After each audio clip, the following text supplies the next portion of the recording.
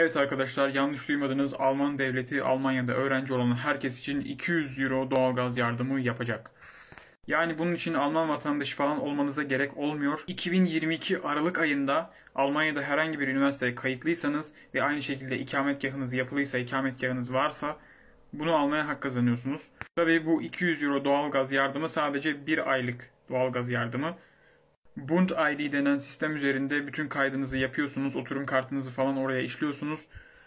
Sonrasında da Einmalzahlung 200.de sitesinden Einmalzahlung 200.de sitesine girip buradan başvurunuzu tamamlıyorsunuz.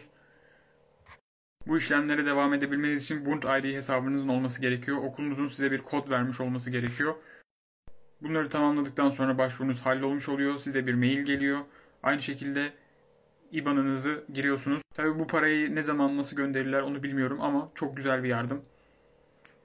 Yani ben gelmişim Türkiye'den. Bana Türkiye şu ana kadar hayatında hiç sosyal yardım yapmadı. Ama ben, ben gelmişim Almanya'da okuyorum. Ve Alman devleti bana sosyal yardım yapıyor. Gerçekten inanılmaz bir şey. Gerçekten Almanlar kendi devletiyle gurur duymalı.